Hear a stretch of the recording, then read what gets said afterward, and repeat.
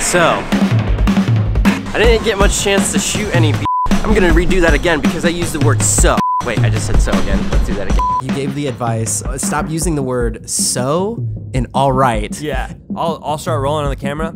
All right, so we're going up to New York City. Like, legit, it's how I start every single sentence. And so here's what I do. Here's my way around this. Sometimes I leave it in my videos because I want to like punish myself for saying it.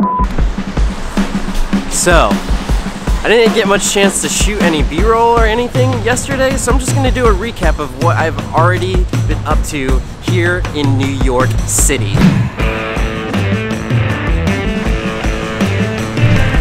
So yesterday I posted a vlog where I went with my brother-in-law to Yahoo Finance, their production studios, and we got a behind-the-scene look at how their live broadcasts work. I also got to interview Alexis Christoforous, an anchor there for a one hour live show, the first trade. And I try to approach my interviews that way. Why do people care? Why should they listen to this? What do they want to gain out of this? And I cannot stress this enough. When you're interviewing people, listen to them. Listen, because if you're not listening, it no longer becomes a conversation and you can't react. That's powerful. What you just said there, right there. Like, boom. And she also hosts one of the best sounding podcasts, the Yahoo Finance Presents on iTunes. You should check it out. And if you want to check out that episode, it's right here.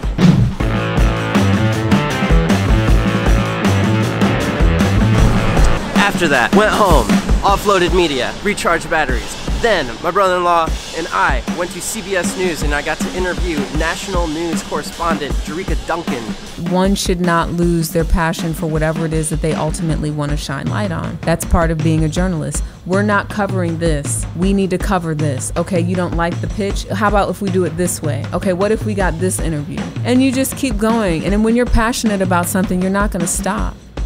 Or you're just going to find other ways to do it. I love how stern you are with saying that because like I feel like if you were pitching me anything, I'd be like, yeah, let's do that. I also got a little bit of more behind the scenes look at how they broadcast into the world with their video signals. That's right, I'm doing this on the fly. So much easier to vlog in New York City. Casey Neistatville.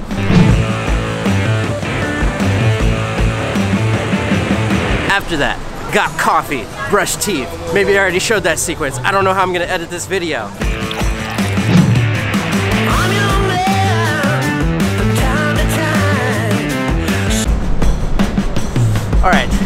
Then I got to interview somebody that's been working for CBS News for over 33 years. He's interviewed people like Bill Cosby, the president. He was over in Afghanistan. This guy is a mountain of knowledge when it comes to journalism. So you would say President Bush, some people say that Clarence Thomas is not the right candidate. You would throw that out, hoping that he will give you some kind of response. And Wyatt used to refer to it as red meat. Randall, I need some red meat. You gotta get him to say something. You gotta get him to say something. And, and the same thing like when he's going to the helicopter or, or coming off the helicopter on the South Lawn. You got sources all over the place, but the source who counts the, is the president. When you get through with the critics and the experts and the analysts, you want the man to be somewhere in your piece saying something. Randall Pinkston, it was a pleasure to get to meet you. Look for that podcast when it comes out.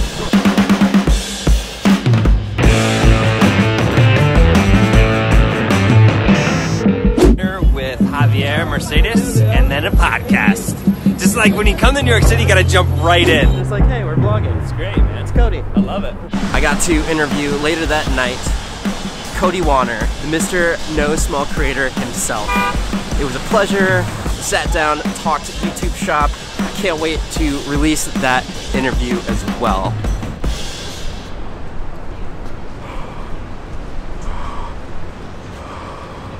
My hands are cold. So definitely after uh, meeting up with Cody, get so inspired to create content. And that's what I'm doing right now, just making a recap, telling the story of what I've been up to so far. Can't wait until the meetup tomorrow at 368, the legendary 368. Till tomorrow, live a life of abundance, and I'll see you guys on the next one.